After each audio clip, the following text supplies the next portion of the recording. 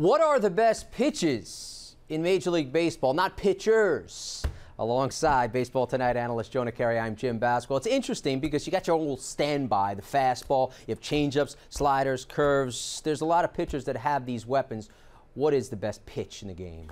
You know, there's an interesting debate. It almost depends pitch by pitch, but one of the best certainly is Zack Greinke and his changeup. Changeup's crazy. Unbelievable. Yes. Zack Greinke dare I say, looks a little bit like Greg Maddux these days. Yeah. His ability yeah. to spot on the corners, his ability to just have that deception, that changeup just rides right uh-huh. out of the zone and is complemented by a fastball that he'll put on a dime. Absolutely. It's an impressive combination one-two, sir. It, it, was interesting. I was watching Doug Glanville on Baseball Tonight a couple of weeks ago do do some you know freeze frames on those on that. It's amazing. It, the fastball and the changeup look identical yeah. to a batter, identical. But how about how about fastballs? You know, you got your starters, you got your relievers. Who has the best fastball in the game? I think you almost have to separate them into categories because relievers can just come out breathing fire. They sure. don't have to worry about going eight innings. So on relievers, two guys come to mind. One is Aroldis Chapman. He throws 100 consistently all the time.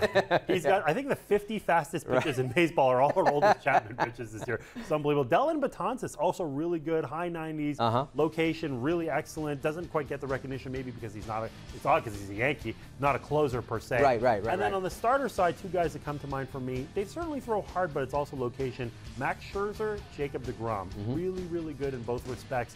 They get guys out and they can set up the other pitches too. For Scherzer, it's a slider. For deGrom, it's literally four four other pitches. He's sure. very tough to pick up no matter what. So, what is the toughest pitch in the game for a batter to deal with? Yeah, I think you can make the case for the Greinke change at this point. You just think about how good it is on a per pitch basis and just how it sets up the rest of his repertoire. And this guy only throws 91 miles an hour. It's not like you're throwing 100 with the changeup. Mm-hmm. It's 91 with 81 or 82, but he can do anything he wants with it. It can act like a screwball sometimes. It's a tough one. You don't know the baseball does no longer have the uh, Mo Rivera cutter to factor because that was that would be the one. That's back true. in the day.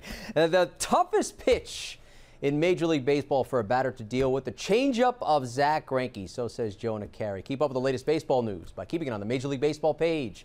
It's right here on ESPN.com. For Jonah Keri, I'm Jim Basquil.